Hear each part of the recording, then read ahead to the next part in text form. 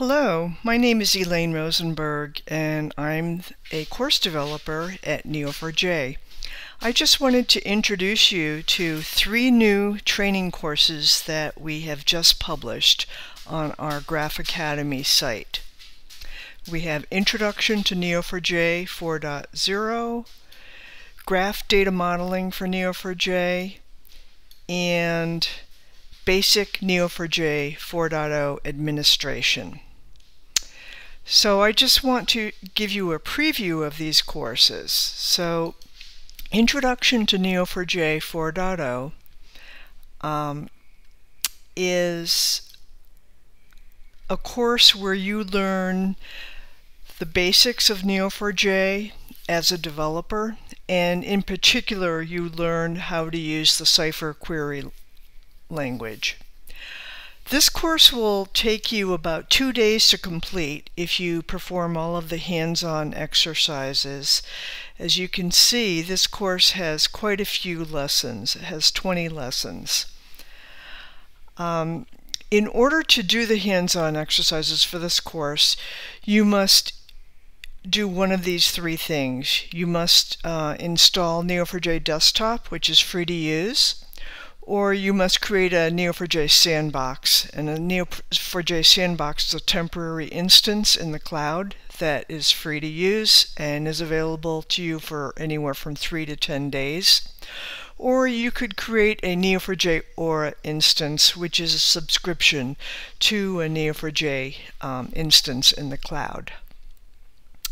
So the, the lessons of the course are around getting to know Neo4j and a lot of lessons about Cypher, how to use Cypher, how to use indexes, query best practices, and we also have a number of lessons on importing data um, and the different ways that you can import data into a Neo4j database.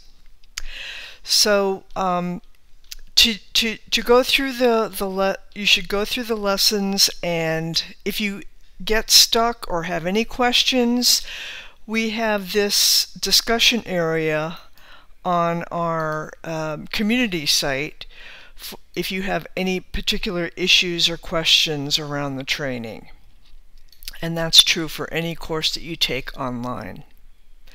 So when you take a course uh, you typically go through the, the content of the course and at the end of the lesson there is a set of three check your understanding questions. And so um, we like to make sure that you have understood the content of the lesson so you would answer the questions um, at the end of the lesson check off the answers. And if for some reason um, you answer a question incorrectly, you do you select check answers and it'll tell you which one that you answered incorrectly at which point you would adjust your answers and then um, then you would do check answers again. And then if you answered them all correctly you would get this message and then you continue to the next lesson. Okay? So as you complete each lesson if you've answered the quiz correctly you're going to see this check mark for the lesson. And then you go through um, the lessons of the course um, the first lesson where you actually have hands-on exercises that you perform um, are with the first exercise here. And this exercise uses what's called a browser guide. And this browser guide you access through Neo4j browser. And so Neo4j browser is accessible either through desktop through a sandbox or through your Neo4j Aura instance. So that's basically how you go through the course. And when you get to the end of the course. After you've completed all these lessons and they all have check marks, meaning that you answered all the questions correctly, um, then you go to the summary page, the summary lesson, which is just a review of what you've done. And if you've answered all the questions correctly, then you get a certificate of completion for this course. So that's the logistics of how you go through. On the left here is are the lessons of the course, and on the right are is the table of contents for this particular lesson. So that's the basic that those are the basic steps for going through one of our lesson one of our courses. So let's go to another course. Let's go to the data modeling course. This course is intended for developers, um, admins, um, architects, anybody who might be participating in the um, modeling exercise for your application. So this course does not have any uh, requirement for you to, to uh, set up your environment, although it does require that you use the arrow tool for um, developing your models.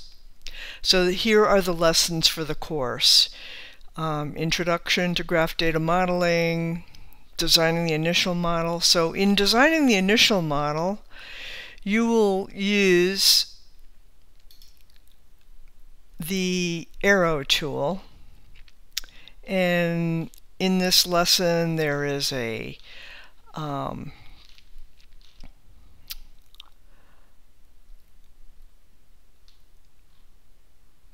it has an exercise that uses the model, the arrows tool, and um, also in the course, we provide you the solution, so you would just copy and paste this into your arrow tool um, markup. And this is basically what the arrow tool looks like um, in your UI.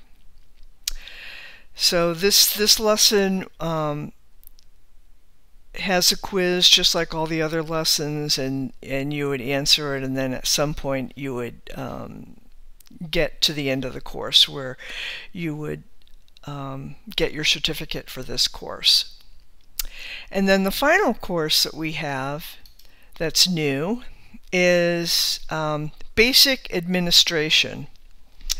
And this course is intended for anybody who might be administering a Neo4j instance for a set of developers or even for production, although this course is just the basics of administering a Neo4j instance.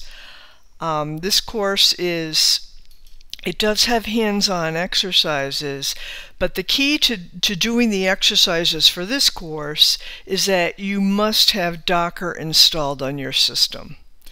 Um, because we use Docker instance to to give you an environment where you can manage the Neo4j instance. And the lessons of this course are um, just some overview lessons about Neo4j, Neo4j admin, and then managing the instance. And what inst instead of using Neo4j browser, in this course we use Cypher Shell. And there are some Cypher statements that you use to manage the instance. So for creating databases, um, starting and stopping databases, things like that. Uh, we teach you how to copy the database, how to change the location, database consistency, um, some exercises in scripting, um, and then uh, how to configure plugins, um, HTTP, HTTP ports, and how to do backups. And we also have a section here on importing data. And this is um, using the Neo4j admin um, import tool to uh, create a database from a set of CSV files. And again, as with our other courses, you have a link here to the community site if you have any questions um, while you're taking the course, since this is a self-paced course.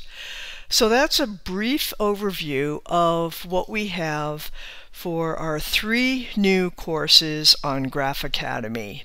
We hope you um, get something out of these courses and they help you to learn more about Neo4j.